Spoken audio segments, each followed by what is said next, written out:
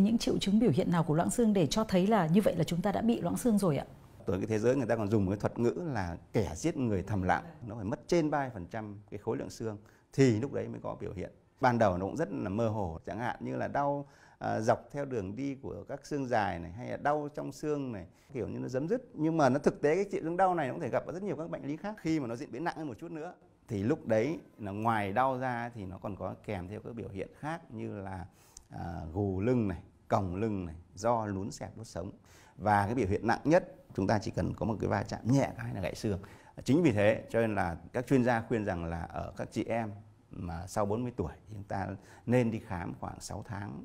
à, một lần và tầm soát cái mật độ xương sớm để phát hiện sớm cái tình trạng loãng xương và từ đó có biện pháp điều trị nó phù hợp. Ờ, chuyên gia có thể ờ, nói rõ hơn là tại sao mọi người lại gọi loãng xương là kẻ giết người thầm lặng và nguy hiểm không ạ? Vì nó không có bệnh gì cả cho nên chúng ta hầu như chúng ta không thèm quan tâm gì đến nó. Bị nặng rồi lúc ấy ta là bị gù lưng rồi, bị còng lưng rồi,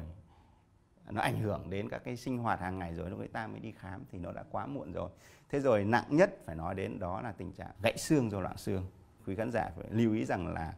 cái gãy xương thông thường ấy, thì chúng ta có thể liền được. Nhưng cái người bị gãy xương do bệnh loãng xương ấy, thì cái khả năng liền xương nó rất là khó. Nếu không muốn nói rằng là không thể liền được nữa. Và cái nguy hiểm nhất ở đây tôi phải nói và nhấn mạnh đó là gãy cổ xương đùi do loãng xương.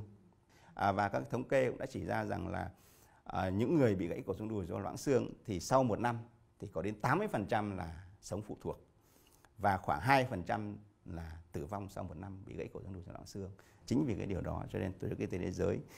đã xếp cái bệnh loãng xương là một cái căn bệnh của thế kỷ 21. Vậy thì thưa chuyên gia có cách nào để chúng ta ngăn chặn được cái tình trạng loãng xương này không ạ? Quá trình phát triển cơ thể từ khi sinh ra cho đến lúc tuổi trưởng thành ấy, quá trình tạo xương nó sẽ lớn hơn quá trình hủy xương. Nhưng khi đến cái giai gọi giai đoạn là chúng ta không phát triển hơn được nữa và khối lượng xương ở thời điểm đấy là khối lượng đạt khối lượng xương đỉnh.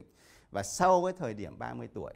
cơ thể ta bắt đầu có hiện tượng là mất xương sinh lý và hàng ngày hàng giờ chúng ta mất đi mỗi ngày nó mất đi một ít. Sau cái giai đoạn 40 tuổi ở phụ nữ và sau khoảng à, 50 tuổi ở nam giới thì mỗi ngày nó mất đi rất là nhanh, nó mất đi 1 đến 3% khối lượng xương mỗi năm. Và chúng ta không thể ngăn chặn được nó. Chúng ta chỉ có biện pháp để làm sao chúng ta giảm đi cái quá trình diễn biến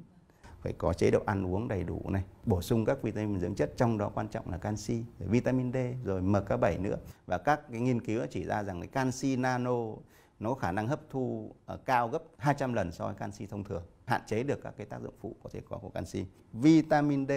là có tác dụng hấp thu canxi vào máu. Thế còn MK7 nó vận chuyển canxi từ máu vào xương là tăng cái uh, tổng hợp xương tăng cái tái tạo xương và giúp xương chắc khỏe. Và MK7 tôi phải nhấn mạnh thêm còn có thể là kéo canxi ở những vị trí mà nguy hiểm để nó giúp vận chuyển canxi từ máu vào xương thế rồi có chế độ uh, sinh hoạt của chúng ta lành mạnh tăng cường vận động thể thể thao sau đó chúng ta phải đi khám nếu như ta đã phát hiện ra bị loãng xương rồi hay là giảm mật độ xương rồi thì chúng ta phải điều trị theo chỉ định của bác sĩ và thực hiện cái dự phòng từ sớm thì nó sẽ làm giảm được các cái nguy cơ bị bệnh loãng xương